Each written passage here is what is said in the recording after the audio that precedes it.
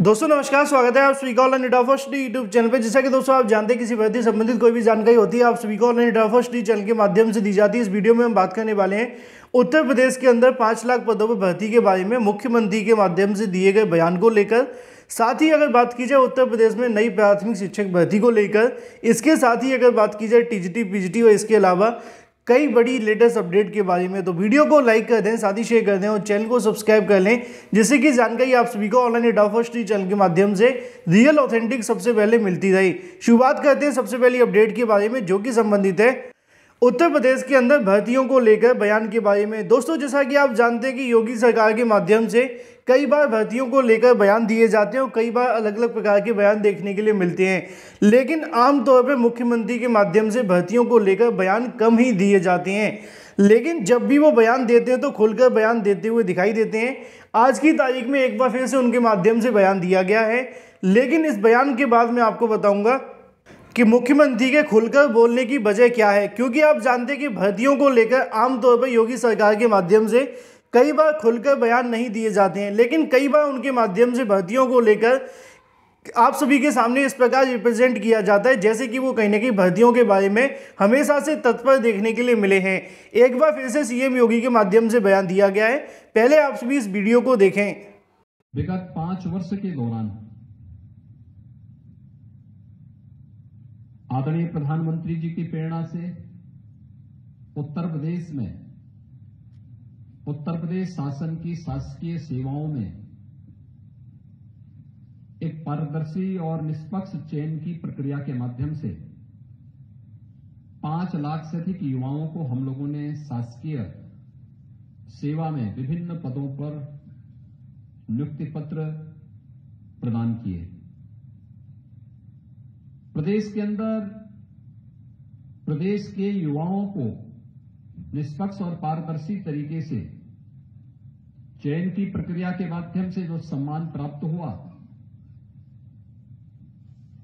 तो उनकी ऊर्जा और उनकी प्रतिभा का लाभ भी प्रदेश को मिलता हुआ दिखाई दिया। जो प्रदेश पहले देश के अंदर एक बीमारू राज्य माना जाता था, यानी यहाँ मनुष्य ही बीमार नहीं था, प्रदेश स्वयं ही बीमार था।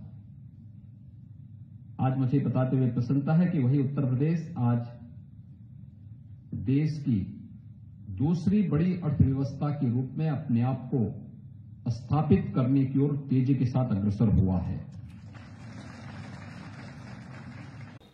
तो जैसा कि आप सभी ने वीडियो के माध्यम से देखा, अगर बात की जाए सीएम योगी के माध्यम से, एक बार फिर से पाँच लाख पदों पर भर्ती को लेकर जो बयान है वो दिया गया है।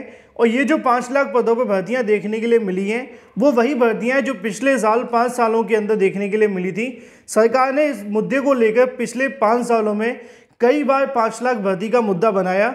एक बार फिर से आज की तारीख में सीएम योगी के माध्यम से इस मुद्दे को खोलकर बोला गया कि हमने पिछले पाँच सालों के अंदर पाँच लाख पदों पर सरकारी नौकरियाँ दी गई हैं।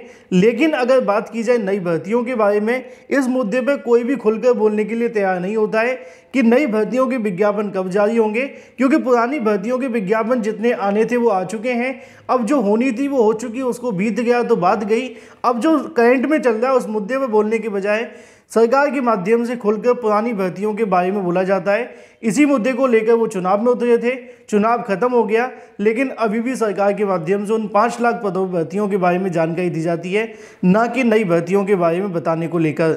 बाकी जो भी अपडेट है, आप सभी को दी जाती है। बात कर लेते हैं अपनी अगली अपडेट के बारे में, जो कि संबंधित है। उत्तर प्रदेश में नई प्राइमरी शिक्षक भर्ती को लेकर, प्राथमिक शिक्षक भर्ती के विज्ञापन के लिए हाल ही में छात्रों के माध्यम से दो ट्विटर वार किए गए थे। दोनों में ट्वीट की संख्या दो लाख के समथिंग देखने के लिए मिली थी और योगी सरकार के माध्यम से रिक्त पदों का डाटा भी मांग लिया गया था। लेकिन उसके बाद एक बार फिर से मामला कहीं ना कहीं ठंडे बस्ते में जा रहा है, क्योंकि एक छात्र के ऊपर एफआईआर कर दी गई, जो कि धरना प्रदर्शन की तैयारी कर रहे थे लखनऊ के अंदर।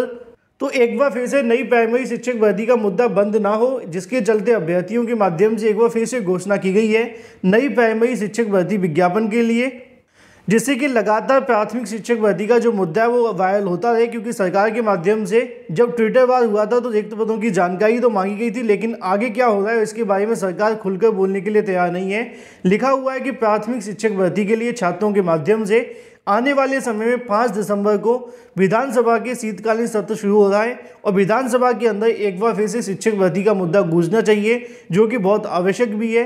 इसी के संबंध में नीचे आप सभी को देखने के लिए मिल जाएगा। ऐसे में नई प्राथमिक शिक्षक भर्ती का मुद्दा विधानसभा में गूंजे, जिससे कि सरकार पे अपनी, सरकार के माध्यम से अपनी प्रतिक्रिया दी जाएगी। एक बार फिर से इसको लेकर महा ट्विटर अभियान देखने के लिए मिलने वाला है, जिसको लेकर हैशटैग आप सभी को जल्द उपलब्ध करवाया जाएगा, क्योंकि अभी हैशटैग दिए जाने से क्या होता है कि मुद्दा बाद में वायरल नहीं होता है, और ये जो ट्विटर वार आपको देखने के लिए मिलेगा 27 नवंबर दिन रविवार को देखने के लिए मिलने वाला है मतलब कि एक सप्ताह बाद। तो तैयार हो जाइए, लक्ष्य रखा गया एक मिलियन ट्वीट का।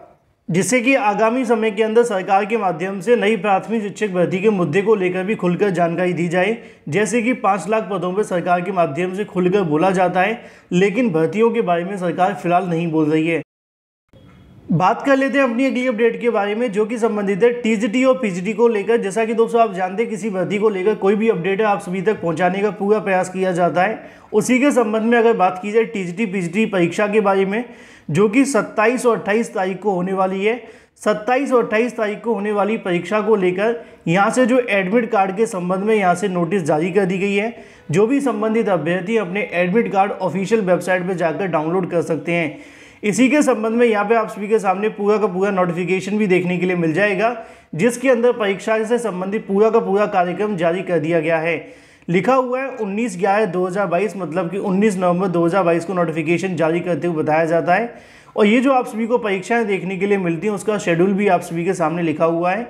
नीचे आपको देखने के लिए मिलेगा डायरेक्ट रिक्रूटमेंट जो कि टीजीटी की होगी। इसके अलावा मिसलिनियस कैटेगरी भी देखने के लिए मिलेगी। साथ ही फिर से टीजीटी आ जाती है और फिर उसके बाद में पीजीटी आ जाती है।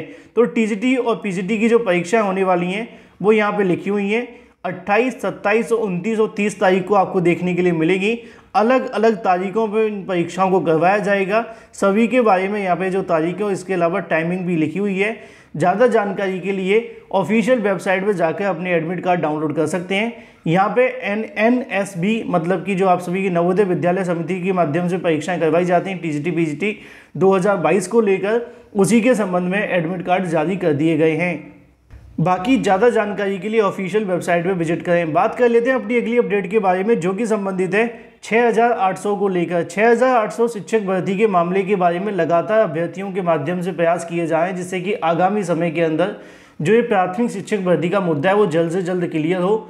उसी के संबंध में एक बार फिर से अभ्यर्थियों के माध्यम से 6,800 को लेकर उसी को लेकर आप सभी को यहाँ से भी देखने के लिए मिल जाएगा। अगर बात की जाए अभ्यर्थियों के माध्यम से, अखिलेश यादव को सौंपा गया ज्ञापन। 2018 में हुई उनहत्तर हज़ार शिक्षक भर्ती में आरक्षण की विसंगति को लेकर पीड़ित अभ्यर्थियों के माध्यम से शनिवार को मैनपुरी आए और सपा प्रमुख अखिलेश यादव को ज्ञापन सौंपा। उन्होंने न्याय दिलाए जाने की मांग की, जिस पर अखिलेश यादव के माध्यम से मदद का आश्वासन दिया। शनिवार को अखिलेश यादव मैनपुरी में आयोजित कार्यकर्ता सम्मेलन में प्रतिभाग करने आए थे। इसमें शिक्षक भर्ती संबंधित अभ्यर्थियों के माध्यम से इस मुद्दे को उठाकर उनके सामने संज्ञान में लाया गया कि 6,800 का मामला जो आरक्षण की विसंगति के चलते सरकार ने स्वीकार तो किया था लेकिन अभी तक इस मामले को लेकर सरकार कुछ भी करती हुई दिखाई नहीं दी है। काफ़ी लंबा समय बीत जाने के बाद भी अभी तक शिक्षक भर्ती को लेकर सरकार सक्रिय नहीं है। फ़िलहाल इस वीडियो के माध्यम से इतना ही।